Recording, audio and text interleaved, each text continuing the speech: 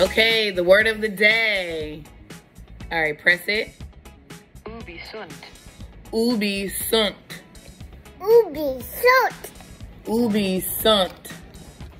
Ubi sunt. Good job. Let's see what it means. It's a poetic motive emphasizing the mm. transitory nature of youth, of youth, life, and beauty, found especially in medieval Latin poems. Ubi sunt. Say it again. Ubi sunt. Ubi sunt.